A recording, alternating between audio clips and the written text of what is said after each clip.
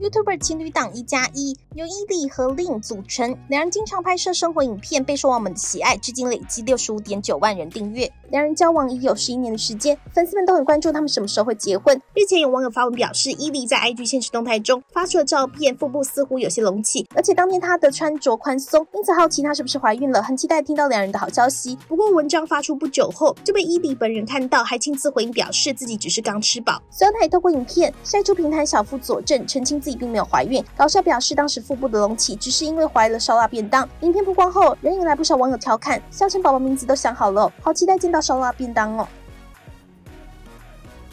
我怀的是烧腊便当。